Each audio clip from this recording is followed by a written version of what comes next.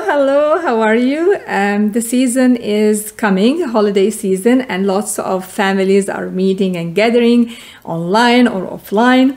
And uh, it's the season when people get actually triggered. So uh, I want to tell you today about relationships and how we get, why we get triggered.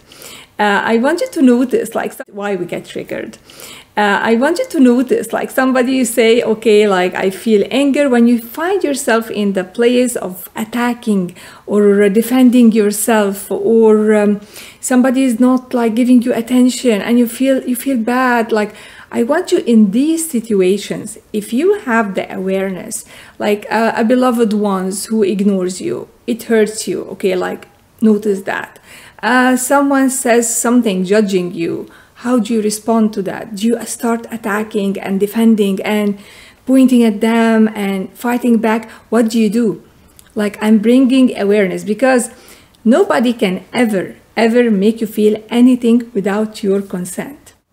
Again, nobody's gonna make you feel bad or insignificant without your consent. You are in charge of you. And that's a mindset. You either have a, a war mindset or you have a healthy mindset. Healthy for you, not for the other person. So honestly, if somebody triggers you, ask yourself like, oh, I'm being triggered now, and this will be wonderful because you are aware at least that there is triggers happening. Okay, so when you feel that wall building up of resistance, or does this energy of anger and you're, you're turning red and you're furious, notice that. This tells you this tells you you are not anymore the anger because you are not angry you cannot be your feelings. Your feeling changes all the time. One minute you're happy one minute you're sad like i mean like you are not you cannot say like it's wrong programming or wrong conditioning when we say i am sad i am mad i'm angry you know you're bigger than that you can say there is anger inside me i notice there is sadness inside me the emotion is building up when you notice this emotion, ask yourself this question why I got triggered? What this person say reminded me of something I have been denying for years and now I am triggered. Because it's not about them, it's about you. Somebody can tell me something, I take it as a compliment, and they can say the same thing to another person and he would take it as an insult.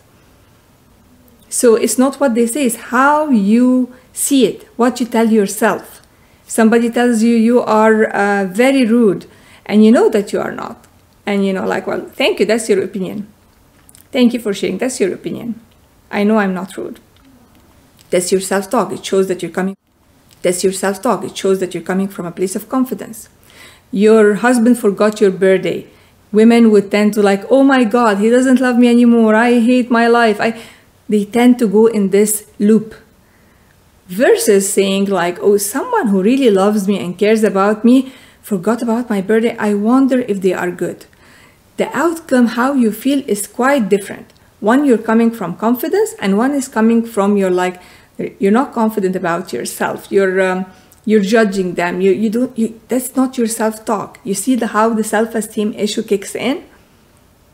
So whoever you're gonna so whoever you're gonna meet in the holiday, during the holiday, and triggers you, ask yourself, why am I triggered? Why am I, why am I, what am I telling myself that I believe about me that their accusation or their way of treating me triggered it? It has to do with you, it's not about them. They give you a gift, you say thank you. Thank you for bringing awareness. Okay? I hope this helps and you have wonderful holiday season with your beloved ones, whether virtual or together. And have an awesome day. Thank you for watching.